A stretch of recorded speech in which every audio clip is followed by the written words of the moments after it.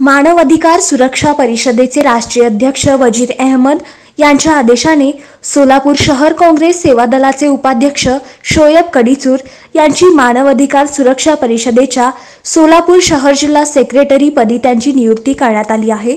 या नियुक्तीचे पत्र सोलापूर शहर जिल्ह्याचे इंचार्ज व माजी नगरसेवक हारून शेख यांच्या हस्ते देण्यात आले. त्यांच्या या निवडीमुळे काँग्रेस सेवा दलाचे शहराध्यक्ष भीमाशंकर टेकाळे यांनी त्यांचे अभिनंदन करून कौतुक करताना म्हणाले की शोएब नुकतेच राजकीय क्षेत्रात सामील झाले आहेत. ते आपला व्यवसाय करीत गोरगरीब जनतेसाठी कार्य करतात.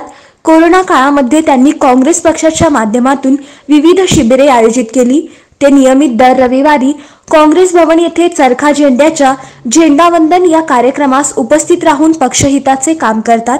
या त्यांच्या कार्यामुळे त्यांना मानव अधिकार सुरक्षा परिषदेच्या सोलापूर शहर जिल्ह्याच्या सेक्रेटरीपदी नियुक्ती करण्यात आली आहे.